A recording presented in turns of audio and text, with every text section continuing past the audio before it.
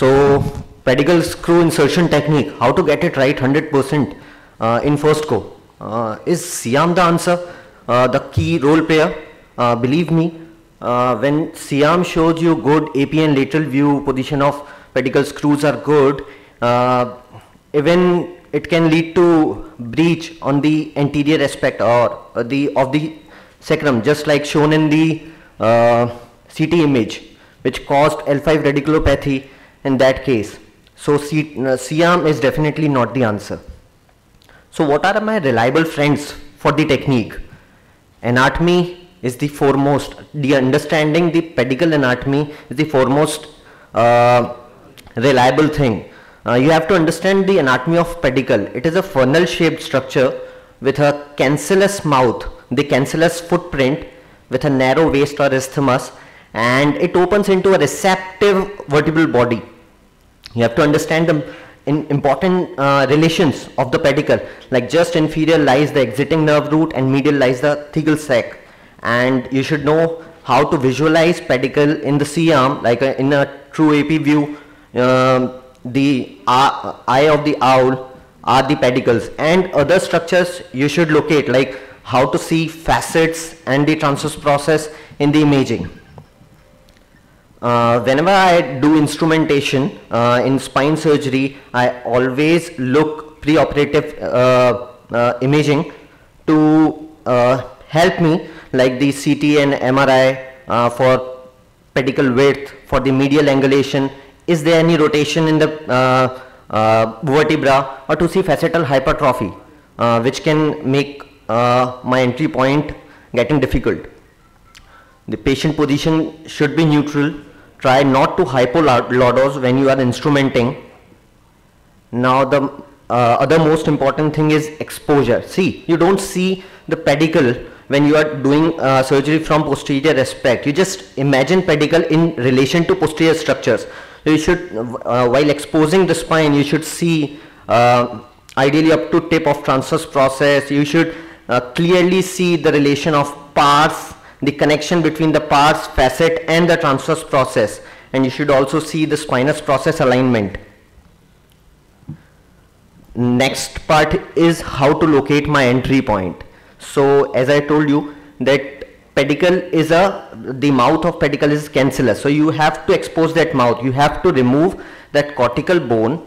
Now several several uh, entry points are uh, described like mammillary process technique at the junction of pars and TP you will see a, a bulging part which is known as mammillary process. Just bite that process and uh, make the entry point. Next is pars interarticularis technique.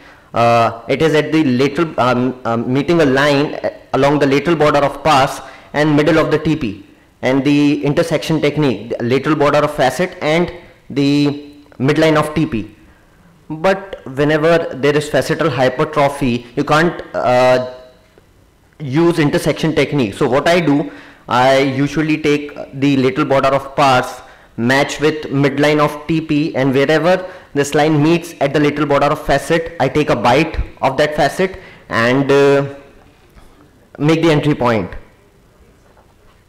What about in thoracic spine? Uh, how will you make the entry point? So in T12 and T1, uh, the entry point lies at the middle of transverse process or the mammillary body along the lateral border of superior articular process.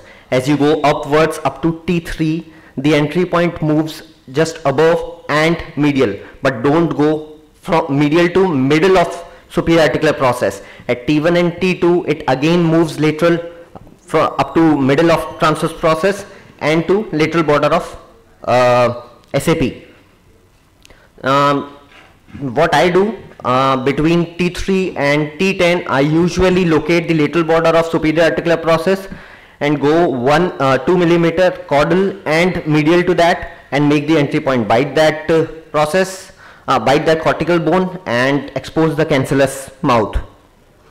Now you read now I have to create my pathway in that tunnel but there are lot of angles described in articles like you have to go uh, 5 degree, 10 degree, 15 degree, 20 degrees. So how to get my trajectory right? For caudocephalic tra trajectory, you have to go perpendicular to lamina. If your lamina is this, you have to go like this. If your lamina is this, you have to go perpendicular to it. If you can't expose the lamina, just expose the transverse process, go perpendicular to it. And for mediolateral uh, trajectory, just remember that uh, at thoracolumbar area, the trajectory is moreover straight or slightly medially angulated. Other uh, At the other levels, it is definitely more medially angulated, but you have to uh, rely on your tactile feedback while getting this mediolateral trajectory. Use spinous process as a guide.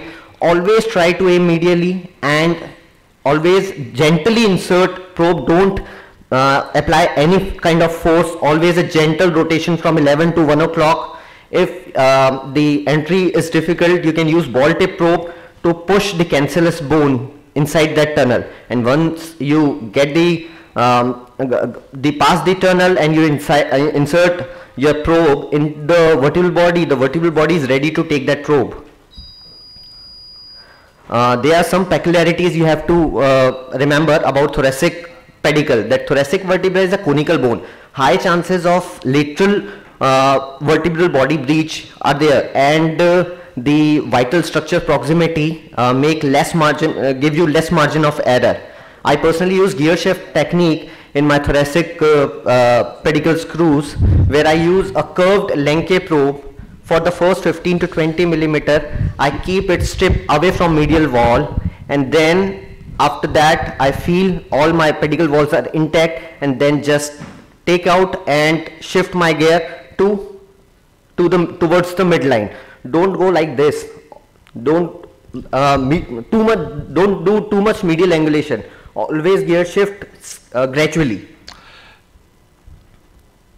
and there are two types of screws described in uh, thoracic pedicle one is surgical screw and other is anatomical screw the entry point of anatomical screw is somewhat higher and uh, the surgical screw is somewhat lower. The thoracic pedicle is not uh, perp exactly perpendicular to the lamina. So it is somewhat caudally angulated. If you want to put anatomical screw you will go somewhat caudal to that uh, perpendicular line. And if you want to put surgical screw then you have to go perpendicular to the to, to your lamina. Tarun, can you uh, summarize your lecture yes, please? Maybe we are already two minutes late. So feel never let you down but in some of the cases use C-arm where your tactile feedback is not available. Thank you.